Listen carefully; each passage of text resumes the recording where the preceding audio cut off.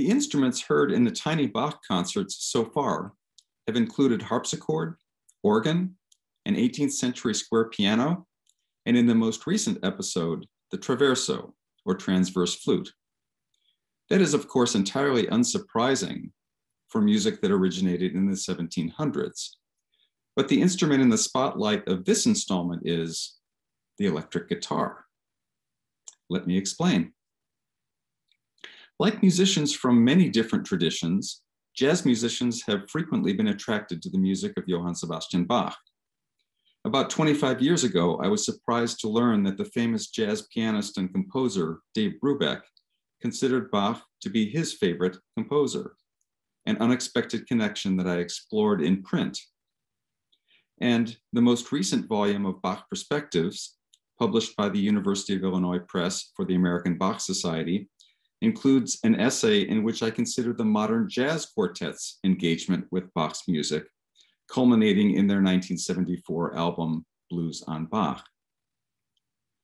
George Barnes, whose arrangement of Bach's organ fugue in G minor, BWV 542, is featured in this tiny Bach concert, is not as well known as Dave Brubeck or the Modern Jazz Quartet.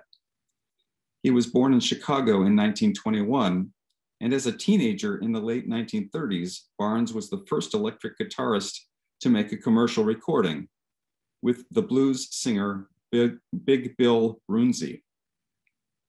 After military service during World War II, Barnes returned to Chicago. He later moved east and became a first call guitarist in the recording studios of New York City. Barnes played on his own recordings, but he also worked with many famous musicians in a wide variety of styles. Louis Armstrong, Tony Bennett, Sam Cooke, and Bob Dylan, to name just a few.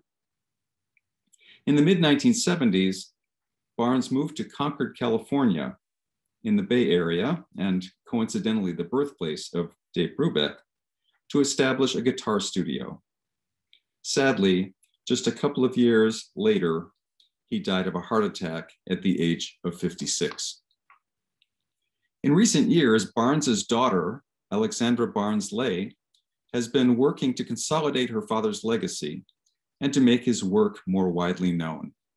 We're very grateful to her for making this Bach Barnes recording available. As the story goes, George Barnes had heard the flamboyant organist Virgil Fox play Bach's fugue in G minor, and this inspired him to explore it with his Jazz Renaissance Quintet. Just 59 years ago, in late February of 1962, Barnes entered a studio in New York City and made this recording. It's not difficult to understand what's going on. Each line of this four voice fugue was played by a different musician in the quintet. First, Barnes himself plays the fugue subject on a special instrument that he had designed for the guitar company Guild Guitars. You'll hear him on the guitar in F, pitched four notes higher than the standard range. The second instrument to enter is the clarinet, played by Hank D'Amico. Next comes a standard sized electric guitar, played by Bucky Pizzarelli. The fourth and final fugal entry is assigned to Jack Lesberg on the bass. The fifth member of the quintet is Cliff Leeman on the drums, which are difficult to hear on this recording, but present in the background. Here's the opening of Barnes's arrangement of Bach's Fugue, in which you can hear all of the instruments enter in turn.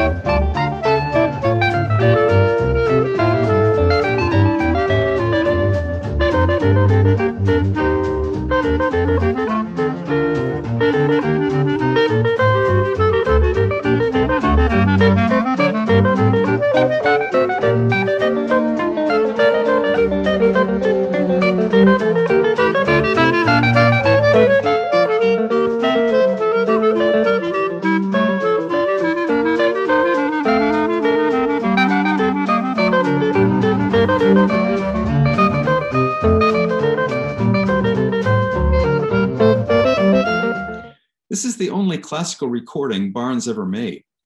He had hoped that this demo track would entice Mercury Records to produce a whole album along these lines, but the decision makers at the, the label felt that it was too esoteric, so it didn't become available until about 10 years ago.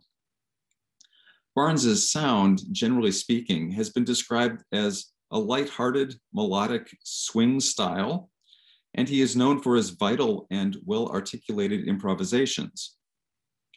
Even though no improvisation is involved in Barnes's fugue, the musicians play exactly the notes that Bach notated, his light and airy approach with lots of staccato notes is very much in evidence. If it seems unusual that a pioneer of the electric guitar should play Bach on that instrument, let me introduce you to a present day musician who did something similar just a few weeks ago. Rick Lollar is a fabulous jazz guitarist based here in Atlanta. He recently made a Facebook video of himself playing the first half of the Courante from Bach's Partita in B minor for solo violin, BWV 1002. And I'm happy to share it with you now. Música